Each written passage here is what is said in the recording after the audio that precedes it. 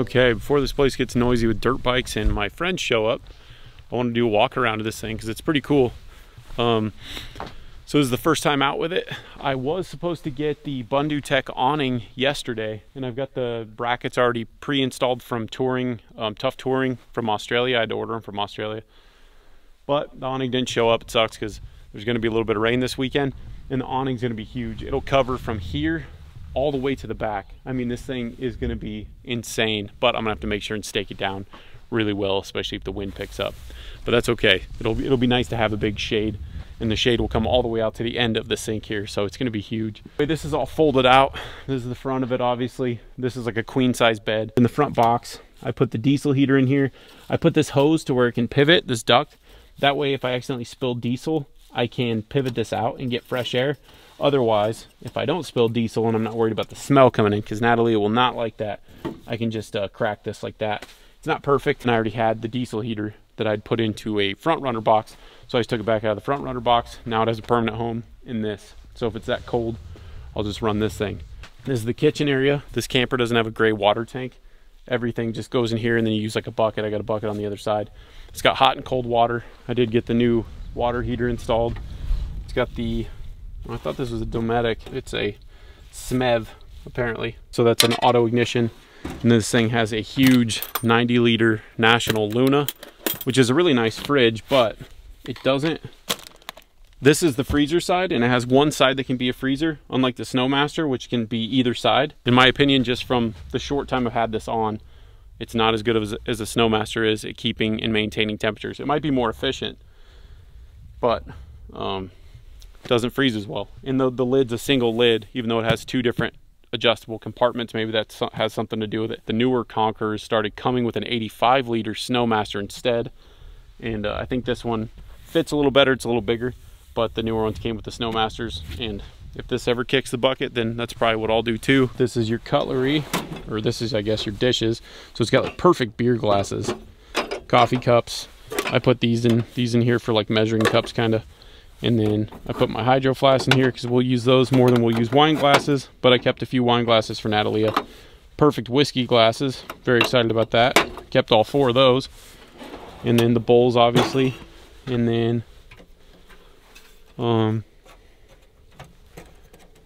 and then I bought some more of these cutting boards and then it's got all your spoons everything stays in place which is pretty cool. These plates are goofy looking but they fit perfectly in the bins. So they did it for a reason. Everything on this is pretty well thought out. Moving on um, obviously I got the top popped.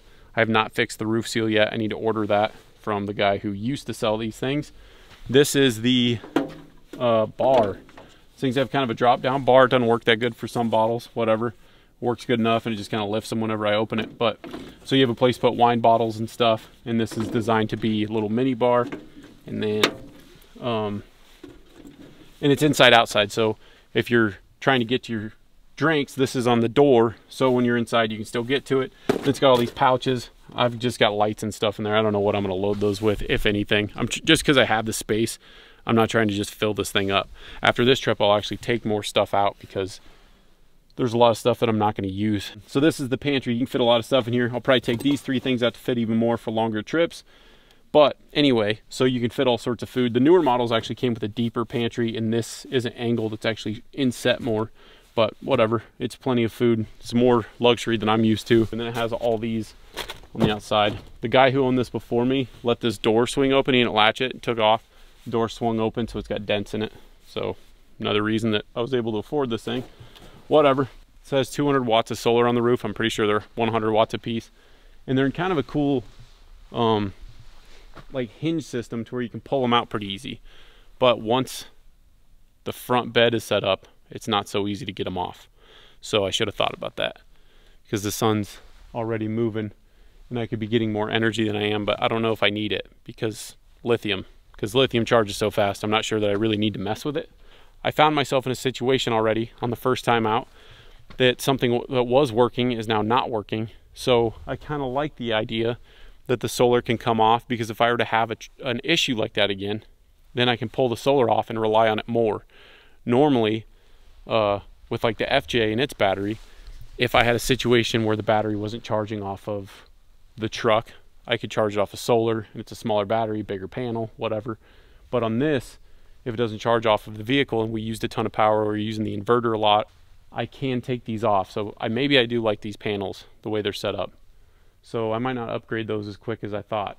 But I, there's still a lot of room on the roof here for a big uh, a big Merlin panel, so or a fourth D solar panel. So we'll see. This is the Blue Ridge Overland XL bag. I think I'm gonna get the smaller one for this camper and keep the big one for the FJ because when I have it on the FJ, I carry like a bucket in it, uh, like a collapsible bucket and a water hose and stuff. I'm not doing that with this, so it's kind of excessive. And with this, um, we'll be stopping to fill water and stuff like that every once in a while, so I'll probably have access to throwing stuff away. It's got a big wood rack, which I didn't think I would use, and now that I used it, it's pretty awesome. That's a good, that's a well thought out idea. Obviously, this has diesel cans. I'm going to take one of these, if not both of these, off in exchange for gasoline. But I have them, uh, I have one of them partially filled for the diesel heater, even though I won't need it. I think, for the most part, um, on any trip, the tank that I have in the front box is going to be enough. And if I need to fill up, then I'd probably need to fill up gasoline too, so I can just fill it up at the at the gas station. This is my filler for the water tank. It holds like 34 gallons. And then this is the bathroom side. So on the bathroom side, this awning comes out and actually makes a whole room. And I meant to grab the bag. It's one thing I forgot. Um, but it makes a whole room.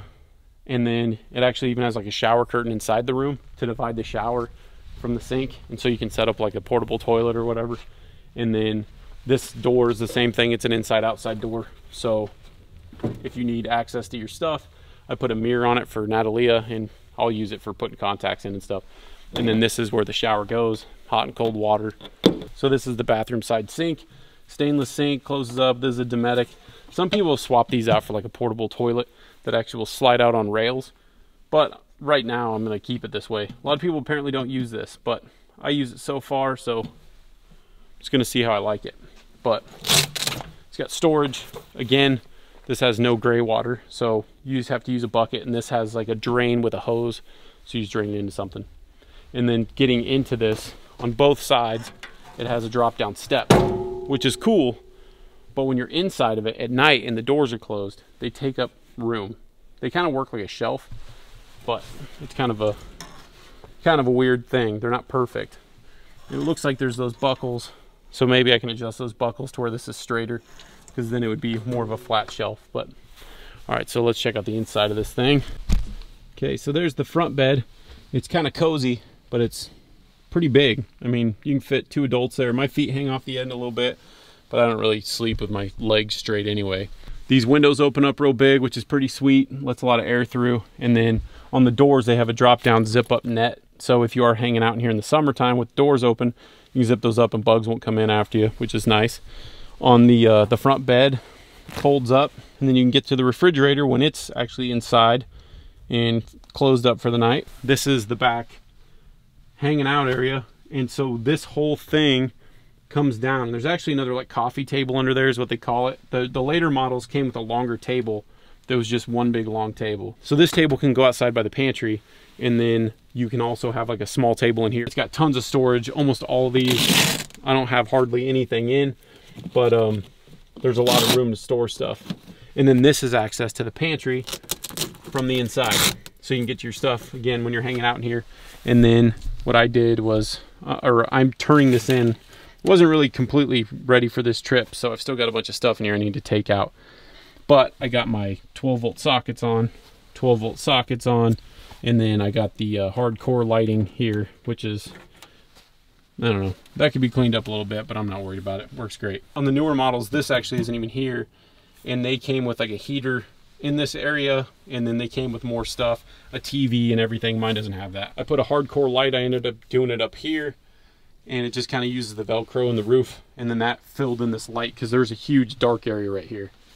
And so, yeah, this thing is awesome. And then these back cushions fold in. And then this whole area becomes one giant bed which is longer than the other bed, especially for tall people. Like I tuck my feet kind of in there, but it's it's wider than like a king bed. I think it's huge, so it's pretty nice. Window, it's got like a blind that goes down, and then again, it's just tons of storage in the back. This one doesn't even come with speakers in the back. Um, I was digging around that wiring yesterday. I've normally got it tucked in. It looks a little nicer. And then it's got fans on both sides to keep the air moving. But uh, what I did on the floor was these things, these are built in South Africa and they don't deal with the cold that we have in North America. So what a lot of guys do that I'd found online was putting like gym mats, like the, the puzzle piece looking gym mats. And I stuck all those together underneath the carpet. So now the floor is basically insulated. When we first camped in this and we were picking it up, um, we just stayed at like a campground so we could plug in uh, an electric heater because we didn't have heat. And you could feel the floor just radiating cold. So I corrected that and now it's not as bad. It stayed 60 degrees in here last night and the heater wasn't even really on that high. So my heater duct I put right here, which isn't quite flush, but it's pretty nice. And so it's just one duct is taking care of everything. There's not really room to run much more ducting, which is why they put theirs here originally. The heater that these came with in like Africa, and I think the US models use the same heater, it was like a glycol heated liquid system that would come through here and it was like heating up a radiator and blowing through that. I don't know. I didn't want to deal with all that. It seems like seems like more problem than a diesel heater. Diesel heaters are easy.